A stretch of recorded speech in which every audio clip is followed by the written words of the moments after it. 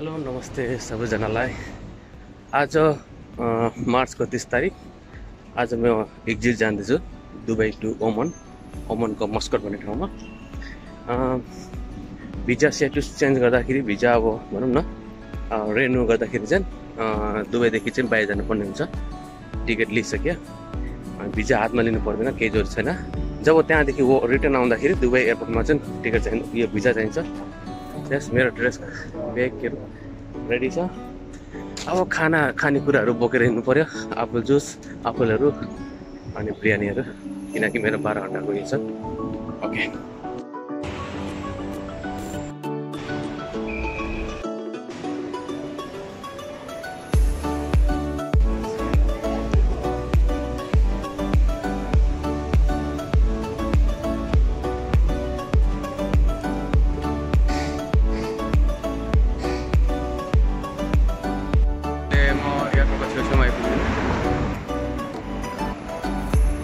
यहाँ साथीहरू पनि छ। इन्डियाका मान्छेहरू।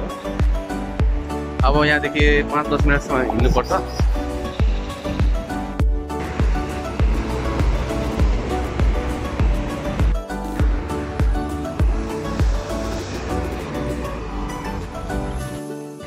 दुबई एयरपोर्टको हेरेर पार्कहरू कति साफ साफ सुथरा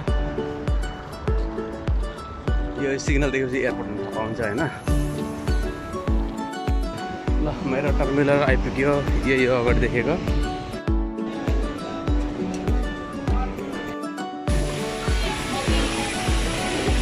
ल त अब लाग्यो।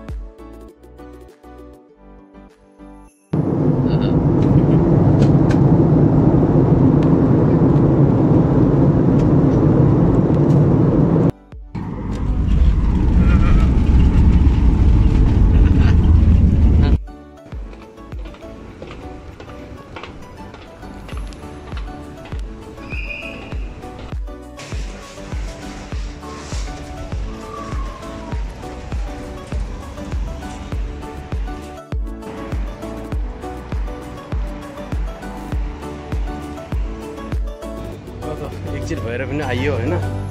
धेरै सजिलो छ। उता ओमनमा एयरपोर्टमा चाहिँ त्यति साह्रो उयो के अरे भन्छ नि त्यति साह्रो उयो गाह्रो हुँदैन रहेछ। किन भन्दाखेरि त्यहाँनिर कस्तो सजिलै छ त्यहाँनिर। यति त्यति साह्रो उयो दुबईको एयरपोर्ट जस्तो ठुलो छैन। त्यस्तो गाह्रो हुँदैन। अब मेरो नयाँ भिजा लाग्यो। आजदेखि युज भयो। उन्तिस तारिकसम्म ल ल सबैलाई बाई बाई फेरि अर्को ब्लगमा भेटौँ होला बाई बाई सी